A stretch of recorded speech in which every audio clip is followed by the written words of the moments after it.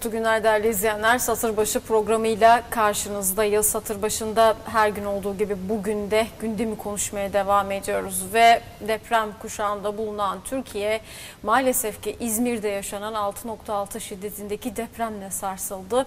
Depremin ortaya çıkardığı bilançonun sebebi ise binaların dayanıklılığının düşük seviyede olması başlığı var. Satırbaşı'nda bugün depremi konuşuyoruz. Program konuklarımız Jeoloji Mühendisleri Odası Güney Marmara Şube Başkanı Enginar ve İnşaat Mühendisleri Odası Bursa Şube Başkanı Mehmet Albayrak olacaklar. Kendisi ve kendileri stüdyo konuklarımız. Başkanlarım öncelikle yayınımıza hoş geldiniz diyerek başlayalım efendim. Türkiye maalesef ki e, acı bir depremle daha sarsıldı ve can kayıplarımız var. E, bu anlamda e, oradaki arama kurtarma çalışmaları devam ediyor. Ama bu bilançoya gelene kadar biz hep sizi ağırladık ve depremi de konuştuk. Bu anlamda uzmanlarımız şu anda konuşmaya ve analiz yapmaya, değerlendirmeye de devam ediyor. Bugün İzmir depremi üzerinde konuşacağız ama Türkiye geneli için de mesajlar isteyeceğiz sizden. Bir acil eylem planı yapılması gerekiyorsa bu nedir sorusunu da sormaya çalışacağız. Ama ilk etapta ben e, İzmir'de yaşanan bu depremle, Seferihisar'da yaşanan bu depremle başlamak istiyorum. Neler söylersiniz? İz, İzmir depreminin şu andaki aslında e, duruma bakıldığında denizden gelen bir e, deprem olduğu konuşuluyor ve söyleniyor. Bu deprem karadan olsaydı bilanço nasıl olacaktı? Bu soruyu da soracağız. E, ilk etapta jeoloji mühendisleriyle başlayalım isterseniz. E, bu anlamda e, deprem için neler söylersiniz başkanım? Daha sonrasında da inşaat kısmına geçeceğiz bu e, başlığı. Öncelikle bu İzmir depreminde, Cuma günü olan İzmir depreminde e, İzmir depremi olarak adlandırıyoruz ki çünkü orası da hasar daha büyük. Merkez evet. olarak değil de hasar anlamında adlandırıyoruz. Bu depremde hayatını kaybeden vatandaşlarımıza Allah'tan rahmet, yaralılara acil şifalar diliyoruz. Ee, İzmir başta olmak üzere bütün ülkemize de geçmiş olsun temennisinde bulunarak sözlerime başlamak istiyorum.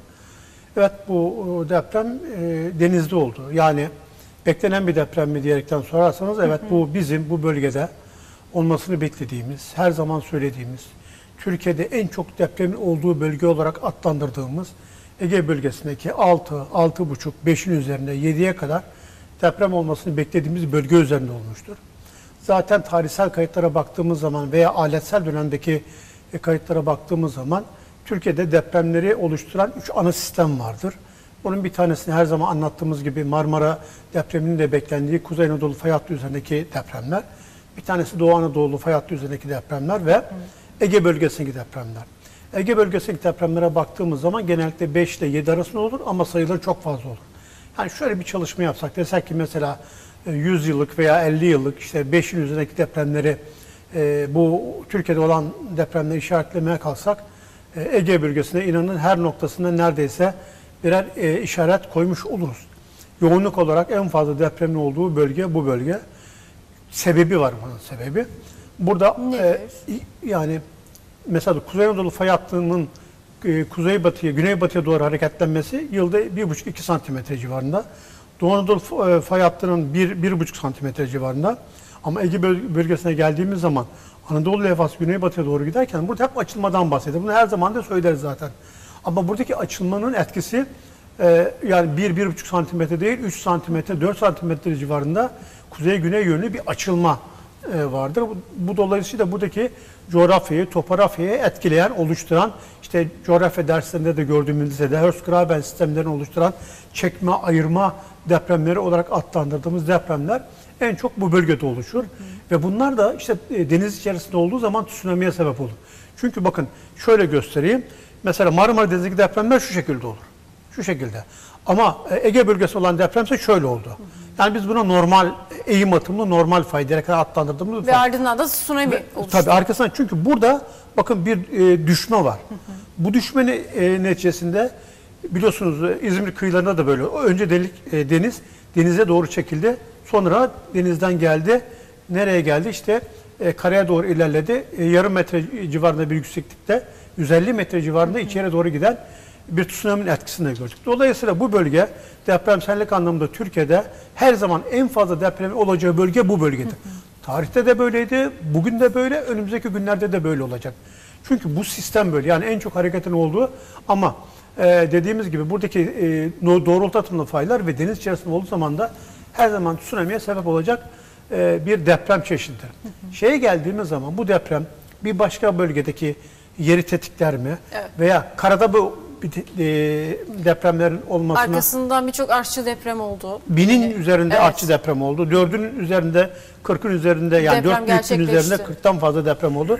Dolayısıyla bunlar gayet normal. Yani e, bakın e, bir şeyi korkutmak değil ama bir uyarıda bulunmak istiyoruz. Bir fay hattı hareketlendiği zaman mesela şu elimi düşünün bir, bir fay hattı olsun. Böyle gittiği zaman önündeki yere stresi bindirir. Bu tarafta da çekme kuvveti, gerilmeyi arttırır. Dolayısıyla her fay eğer levha kenarında değilse, eğer dalma batma zonunda değilse e, bir yerdeki gerilimi başka bir noktaya taşır. Şimdi buradaki deprem de aynı bu şekilde oldu. Yani doğusunda veya batısındaki diğer deprem fay hatları üzerinde biliyorsunuz e, gerilimi arttırdı. Ege bölgesinde birçok fay var. İşte İzmir fayı var, e, bileyim Tuzla fayı var. Bunun hemen çok yakınında olan faylardan bahsediyorum. Bu faylar üzerindeki gerilimin e, artmasına sebep oldu. Dolayısıyla bu deprem eğer yerleşim yerlerinin içerisinde olmuş olsaydı ki parantezle söyleyeyim eğer Bursa'da böyle bir deprem olursa ki yerleşim yerlerinin tam altında olacak. Evet. Tam altında. Dolayısıyla yerleşim yerinin e, e, içinde olmuş olsaydı bu depremin hasarı elbette daha büyük olacaktı. Zeminin özelliklerine de isterseniz biraz bahsedeyim. Şimdi bakın e, merkezinden e, mesela Seferihisar 30 kilometre mesafede. Evet. Yani depremin olduğu noktadan Seferihisar 30 kilometre mesafede ve burada Seferihisar'da yıkılan hiçbir bina yok. Niye? Çok yakın olmasına rağmen ama Zeminle ilgili olduğunu zeminle alakalı. o zaman. İsterseniz onu da ben size burada gösterebilirim. Buyurun başkanım. Mesela e, Gediz Ovası dediğimiz yani Bayraklı Karşıyaka'da ise çok büyük bir yıkım oldu. Yani en fazla yıkımın Evet, olduğu yer. orada gerçekleşti. Bakın şöyle bir şey göstereyim size. Buradan bilmem gösterebilecek. Burası odak noktası. Yani depremin odak noktası, sıfır noktası. Yani bu depremde ortaya çıkan enerji Hiroşima'ya atılan atom bombasının 104 misli. Yani merkezdeki çıkan enerjinin ölçüsü bu. Zaten e, siz de e, e, konuşurken baş, sözünüzün başında şiddetini e, 6.6 olarak Evet. bildirmiştiniz ama şiddeti değil aslında bu. Şiddet yıkıcılığı ile ilgili bir hal, e, ölçüydü. Ölçüm o. E, büyüklük ise çıkan enerjinin ölçüsüyle alakalıydı. 6.6 büyüklüğünde.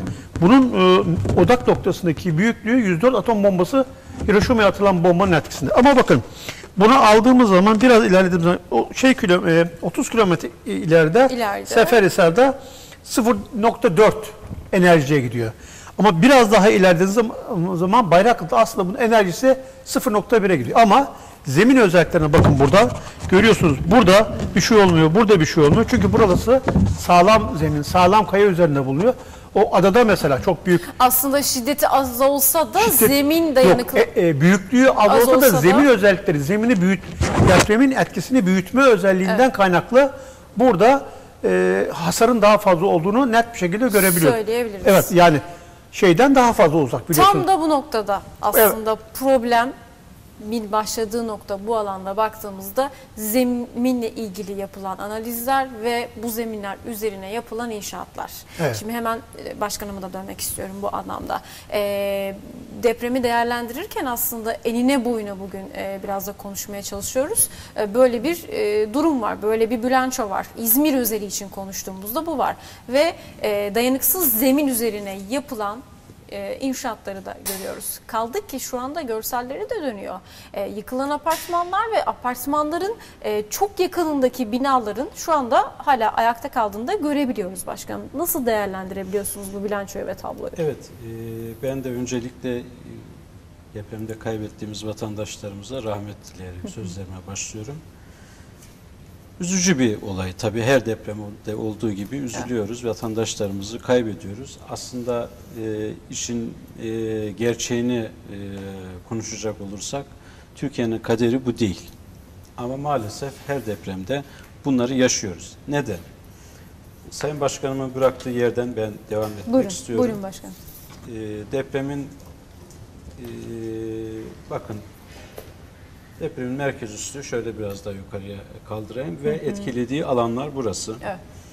E, gerçekten bu deprem Seferihisar'a 27-30 kilometre buna karşılık e, ölümlerin olduğu Bayraklı'ya 70 kilometre. Neden? Depremin merkezinden itibaren ülkemizin e, Seferihisar ucundaki de, e, istasyonda e, ölçülen ivme 0.18G. Bu teknik bir terimdir ama Evet. bunu böyle ifade etmek istiyorum. Seferihisar'da bu ivme hiçbir binaya yıkmadı. Ancak Bayraklı'da bir sürü bina yıktı. O 20'ye yakın bina yıktı. Çok fazla miktarda ağır hasarlı bina olduğu da söyleniyor. Çünkü Seferihisar sağlam bir zemin üzerine kurulmuş ama Bayraklı alüvyum zemin üzerine kurulmuş. Ee, ben yanımda İzmir'in dere yatakları ile ilgili haritayı da getirdim.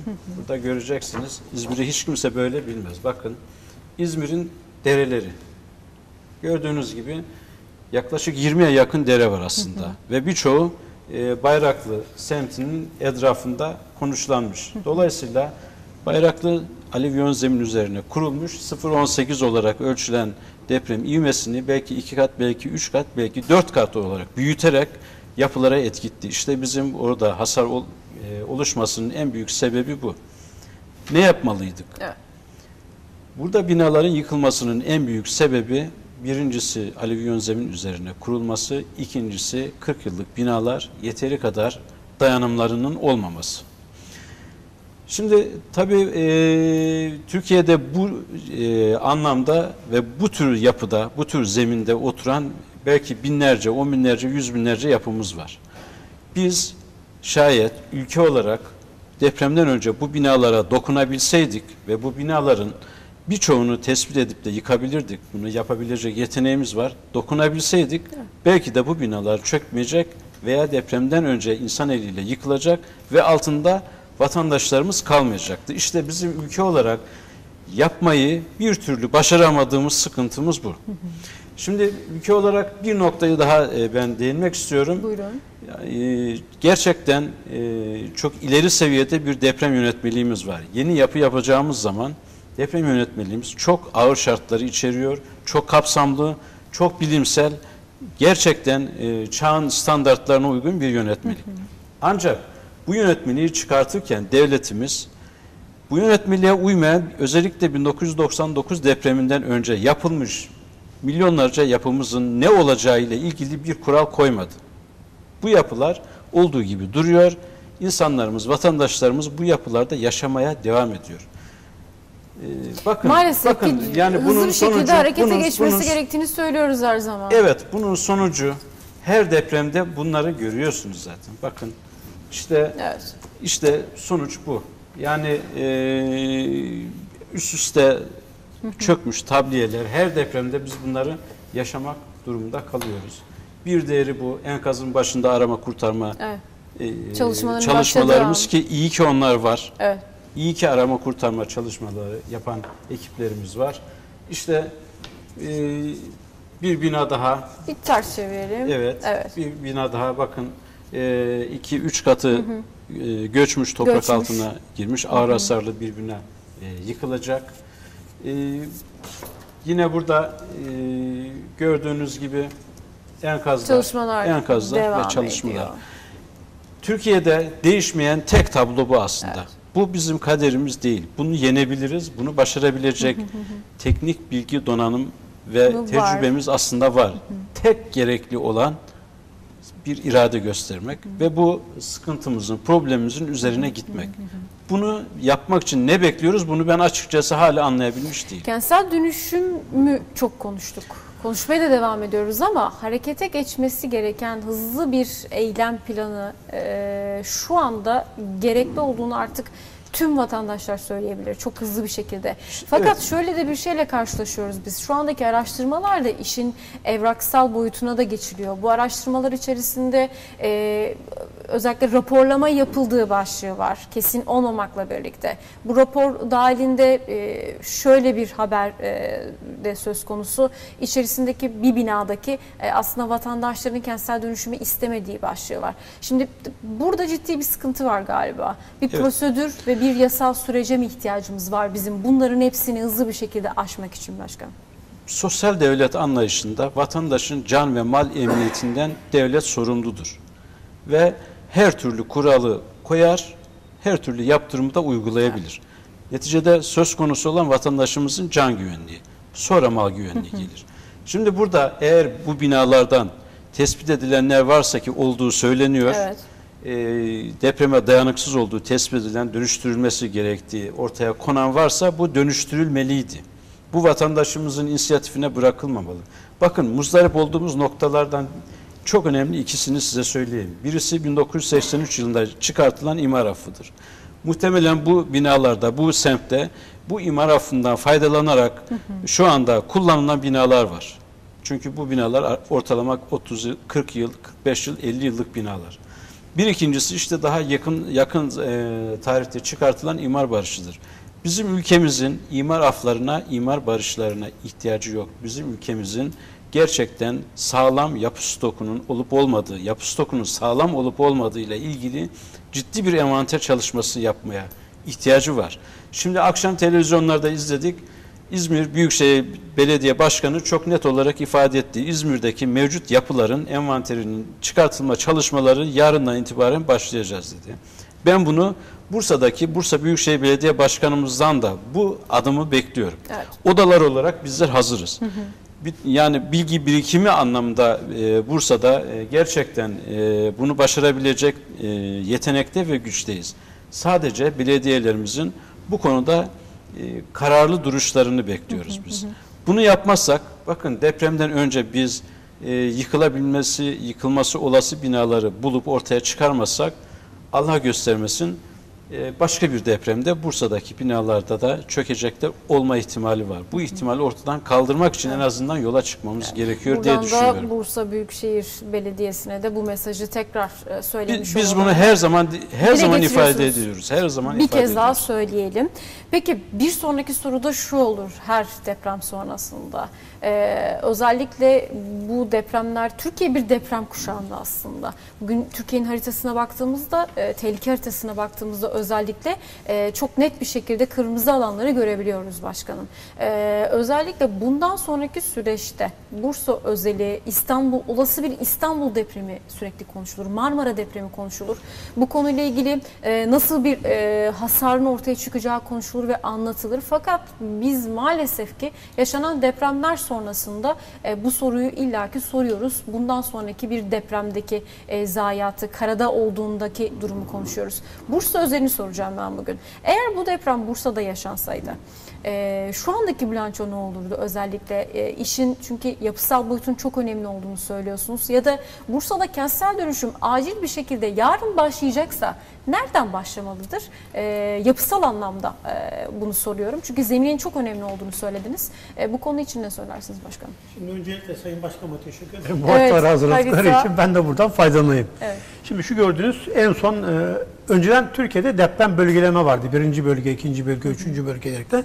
Şimdi deprem tehlike haritası var. Bakın bu deprem tehlike haritasına baktığımız zaman yani kuşaklar net belli oluyor. Şu koyu renkli kırmızı gördüğümüz yer deprem sel açısından en tehlikeli olan bölge Kuzey Anadolu fay hattı. Şu da gördüğümüz e, Doğu Anadolu fay hattı. Bingöl Karlova'dan başlayarak güney bölgesinde devam eden hattı var. Ama bakın en çok en yoğun gördüğümüz yer Ege bölgesi. Çünkü burada biraz önce söylemeye çalıştığım gibi açılmanın en fazla olduğu yer burası. Şimdi sorunuzda şöyle bir e, eksiklik var bana göre. Bursa'da bir deprem olursa e, ne olur gibilerinden. Ama bakın Bursa'da beklenen deprem bir tane değil. Bursa'da e, her böl ilçenin kendi adıyla anılan fayı var. Mesela Kemalpaşa fayı var, Karacabey fayı var. Ne bileyim işte İnegöl fayı var. Bir sürü her ilçenin dağ bölgesindeki 3 ilçe hariç her ilçenin kendi adıyla anılan fayları var. Bursa'yı bekleyen tehlike 3 ana fay hattı üzerinde oluşacak. Bunlardan bir tanesi işte beklenen İstanbul depremi denilen, yanlış isimlendirilen, beklenen Marmara, Marmara. depremi olarak adlandırılması gereken Marmara Denizi içerisinde 7,5 büyüklüğüne kadar olan bir deprem. Bakın bir e, e, derece büyümesi, bir e, rakam büyümesi depremsellik anlamında 33 kata tekabül ediyor. Yani 6 ile 7 arasındaki boşalan enerji 33 kat. E, 7, 6 ile 8 arasında 33 çarpı 33 yani yani yüzlerce kat bir fark vardı enerji boşalımı anlamında. Dolayısıyla biz Marmara Denizi içerisinde oluş- oluşabilecek bir depremden Bursa etkilenecek. Bu depremin adı Marmara depremi olacak ve Bursa da bundan etkilenecek. Mesela ne olacak? E, buraya yakın olan Mudanya, Gemlik gibi ilçelerimiz e, bu depremden el- elbette etkilenir ve beklenen tsunami burada da var. Ve bu o şeyde İzmir depreminde o ki tsunami'den daha fazla bir e, e, tsunami oluşabilir. Gerekçesi de her ne kadar doğrultu atımlı fay olsa da yani eğim atımlı e, e, bir e, deprem olmasa da burada oluşabilecek e, heyelanlar neticesinde e, Gemlik'in ve Mudanya'nın kenarı yani Marmara Denizi etrafında olan İstanbul'da dahil olmak üzere bütün hepsini etkileyecek. Dolayısıyla Bursa'yı etkileyen bir deprem olacak. Bu bir defa Bursa depreminin birincisi. İkincisi de gene İznik'in altından başlayıp e, Gemlik'i her iki koldan devam edip Orhan Gazi Fay ile beraber sonra e, Mudanya'nın hemen deniz kenarından paralel ki buralarda aktif olduğunu biz biliyoruz. Geçen sene mesela bu e, Mudanya'nın hemen ucunda 4.1 büyüklüğünde bir deprem olmuştu. Bunu Mudanyalılar da epey hissetmişti. Sonra Karacabey'e doğru devam hat üzerinde. Burada 7 büyüklüğü civarında burada da bir deprem bekleniyor. Bakın bu depremin adı da Bursa depremi. Ama bundan İstanbul'un çok fazla etkilenmesi beklenemez. Burada tsunami tehlikesi de yok bu deprem içerisinde.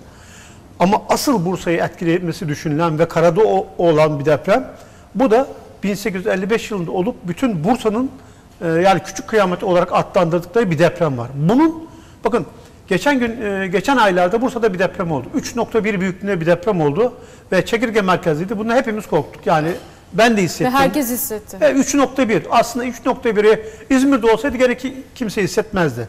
Marmara Denizi'nin içinde olsaydı hissetmezdi. Biz hissediyoruz. Niye? Çünkü bizim fay hattına uzaklığımız 0 metre. Yani biz tam fay hattının üzerinde oturuyoruz. Dolayısıyla 1855 bir de, e, benzer bir deprem olursa ki bu Karacabey'den, e, Kemalpaşa'dan özür dilerim Kemalpaşa'dan başlayıp Ulu Cami'nin etrafına kadar gelen Bursa fayı olarak adlandırılan Çalı fayı üzerinde oluşacak bir depremdir bu. Burada e, bir deprem olursa yani küçük kıyametten daha büyük bir kıyamet e, olması kaçınılmazdır. Belki birazdan başkanım da söyler. Bursa'daki yapıların %60'ının kaçak olduğunu, mühendislik hizmeti almadığını düşündüğümüz zaman, fay hattının tam altında ol- olduğumuz zaman burada elbette büyük bir hasar beklenir. Çünkü bir binanın yıkılması için birkaç e, e, sebep vardır. Bir tanesi depremin depremde çıkan enerjinin büyüklüğü. Yani 6 büyüklüğünde, 7 büyüklüğünde. İkincisi bu o, enerjinin mer- çıkan merkezine binanın uzaklığı. Çünkü en yakınından başlayarak etkisi azalarak devam ediyor. Üçüncüsü depremin yani enerjinin e, zemini etkisini büyüten sıvılaşma zeminler dediğimiz veya her sıvılaşma değil, alüvyon zeminler de depremin etkisini büyüten zeminlerde. Dolayısıyla bu üç e, önemli yerden kaynaklanan, depremden kaynaklanan sebep var. E, tabii dördüncüsü de binanın kendisinden kaynaklanan e, sebepten dolayı bir bina yıkılabiliyor. Evet ya bunları söyleyebiliriz. Evet. Şimdi Bursa'ya baktığımız zaman tam bizim altımızda olması beklenen bir deprem var. Biz bundan kaçamayız. Yani tsunami olacak biz bunu haber verelim deme zamanımız yok. Depremi önceden haber verme zamanımız yok. Mesela Japonya'da daha önce haber verebiliyor. Niye? Orada okyanusta oluyor deprem. Kenara gelince kadar deprem dalgaları, pe- pelsel dalgalar arasındaki e, iletişim farkından dolayı böyle 8-10 saniyelik bir zaman kaybı, e, zaman farkı olabiliyor. Ama bizde bu da yok. Yani biz birinci gelen depremi hemen hissederiz. Mesela 99 depremini Marmara Denizi'nde olan depremde e, ben net bir şekilde hissettim. Önce bir dalga geldi, durdu, sonra ikinci dalga geldi. Değil mi? Bu bir yıkıcılıktı. İşte P ve S dalgaları da birinci ve ikinci dalgalar dediğimiz deprem arasında fark var. Ama bizim Bursa merkezli beklediğimiz yani Bursa'nın e, yerleştiği yerde yani e, Kemalpaşa'dan başlayıp e, Nülüfer'den başlayıp isimlerini sayıyorum ilçelerin bakın. Evet. E, o, e, Nülüfer'den başlayıp Osman Gazi'de Yıldırım'da birkaç kola ayrılarak devam eden fay hattı üzerinde olursa bizim hiç zamanımız yok. Yani P dalgası gelir arkasından da hemen mesela ikinci primer dalgadan sonra ikinci dalga gelir ve bizde yıkılıcı, yıkıcılığa maalesef sebep olur diyoruz. Biz bununla ilgili kentsel dönüşümle ilgili zamanımız çok kısa olduğu için böyle Evet, toparlayarak evet, gitmeye çalışıyorum. Yani kentsel dönüşüm yapmamız lazım. Kentsel dönüşümün e, çıkma sebebi de olma sebebi de neydi? Doğal afetlerdi. Doğal afetler Evet. anlamında ben de buradan Büyükşehir Belediyesi'ne bir çağrıda bulunuyorum. Bursa acilen depremsellik anlamında masa yatırılmalı. Doğal afetler anlamında masa yatırılmalı. Biliyorsunuz Bursa'da taşkın oldu, can kaybettik. Heyelan ol- oldu. insanlar yüzlerce aile değil mi dışarıya çıktık. Bir başka bir şey deprem. Eğer biz taşkında birkaç can, e, heyelanda birkaç yüz evi boşaltma durumunda kaldıysak e, oluşabilecek bir depremden de gelmeden önce biz bu depremlerin hepsini ülkemiz anlamında birer uyarı, uyarı deprem olarak algılamamız ve buna göre önlem almamız gerekir. Ne yapmamız gerektiği konusunda biz akademik odalar olarak elimizden gelen her şeyi gönüllülük esası içerisinde başkanım da Zaten buyurduğu gibi biz sonuna kadar varız. Evet. Biz güvenli bir konut, güvenli bir Bursa istiyoruz. Bunun için elimizden geleni yaparız. Yeter ki akademik odalar bu işin içerisinde Çok olsun. teşekkür ediyoruz mesajlar için. Başkanım sizden de alalım mesajlarınızı. Evet, Son olarak eklemek tam- istediklerinizi ekleyelim. Tam da bina boyutuna aslında tekrar geldi ee, Ee, başkanım. Buyurun. Şimdi, şimdi bakın bu İzmir'in fotoğrafı maalesef işte deprem anından hemen sonra çekilmiş bir fotoğraf. Ben e, bunu göstermek istiyorum, önemsiyorum çünkü. Bu e, arzu etmediğimiz bir fotoğraf.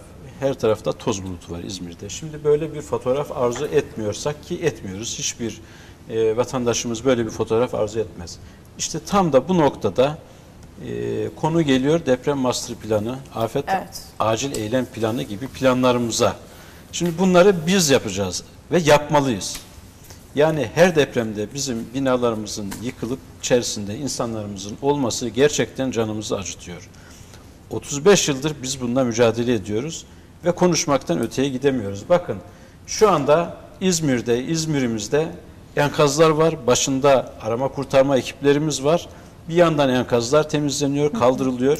Bir yandan da yer bilimci hocalarımız, e, e, üst e, bilimci yani inşaat mühendisi hocalarımız, bütün hocalarımız orada ve fikirlerini beyan ediyorlar. Enkazlar kaldırıldığında herkes kaderiyle baş başa kalacak, konuşulanlar unutulacak. Bir hafta önce nasıl durumdaysak bir hafta Aynen sonra devam da aynı edecek aynı pozisyona diyorsunuz. geleceğiz. Şimdi biz depremleri e, televizyonlarda basın önünde konuşarak depreme hazırlandığımızı düşünüyoruz. Asla böyle bir şey yok. Bakın biz odalar olarak uyarı görevimizi yapıyoruz. Burada eylem zamanı, eyleme geçmek zamanı. Bunun için ne yapmak lazım? Depremde yıkılması muhtemel binalarımız varsa tespit etmemiz lazım ve önlem almamız lazım. Bunun için vakit kaybediyoruz, vakit kaybetmememiz lazım. 99 depreminin üzerinden 21 yıl geçti. 21 yıl kaybımız var bizim. Keşke o zaman bir takım çalışmalara başlasaydık. En azından şu anda elimizde depreme dayanıksız yapı stokunun ne olduğu, hangi bölgelerde olduğu, elimizde bir e, risk haritamız olurdu. Maalesef şu an itibariyle bu haritamız olduğu söylenemez. Dolayısıyla eksiklerimiz bunlar işte. Depremden önce eğer siz yıkılacak binaları bulup ortaya çıkarmazsanız olabilecek altımızdaki fay var, Marmara fayı var. Marmara depreminin e, Bursa'yı etkileyeceği çok açık denizin ortasında olmasına rağmen e, etkileyecektir. 99'da hepimiz etkilendik. Bakın e, Çınarcık açıklarına kadar kırılan uçta avcılarda 110 kilometre ötede binalar yıkıldı. Dolayısıyla bin, yani e, fay hatları elbette önemlidir. Zaten fay ile ilgili yer bilimci hocalarımız, bilim adamları sürekli çalışıyorlar. Biz bunu vatandaş olarak görmüyoruz ama sürekli çalışıyorlar zaten. Hangi fayın ne büyüklükte deprem üreteceği işte kaç atom bombasına eşit enerji biriktirdiği gibi konular zaten çalışılıyor. Bu hep yapılıyor. Yapılmalı. Bu çok güzel e, bir çalışma alanıdır. Ancak bunları öğreniyoruz da bunları biz binalarımızla ilgili kısmına nasıl dönüştüreceğiz? Burada Evet. çok zayıfız. Neden? E, yani işte vatandaşımız binasının depreme dayanıksız olduğunu öğrenmek istemiyor. Bu iticidir biraz. Yani sevimsiz bir yüzü var. Neticede bir binanız var depreme dayanıksız olduğunu önünüze koyuyorlar. Bu sevimsizdir. İnsanlar öğrenmek istemiyorlar. Dolayısıyla böyle Ama sıkıntılarımız var. gerçekle artık Ama bu bir yüz gerçek. yüze gelmeleri gerekiyor. Ee, Şimdi, bu da önemli şimdi baş- Allah göstermesin bakın işte deprem e, gidecek sonunda acılı aileler kalacak canlarını kaybetmiş ondan sonra da mallarını kaybetmiş bu travma yaşıyorlar ve hayatları boyunca yaşayacaklar. Her depremde bu bizim kaderimiz değil. Önlem almak durumundayız. Ve ciddi bir can kaybı var şu anda. Çalışmalar da devam ediyor. Hmm, Yani kötü haberleri maalesef ki paylaşıyoruz. Paylaşmamak adına da bugün e, bu programı yaptık. Özellikle mesajlarınız değerliydi. Süremin sonuna geldim. Çok teşekkür ediyorum satır başına e, katılımınız için. Çok sağ olun diyoruz efendim. Satır başını noktalıyoruz. Saatler 19'u gösterdiğinde ana haberle karşınızda olacağız. Hoşçakalın. Mutlu günler.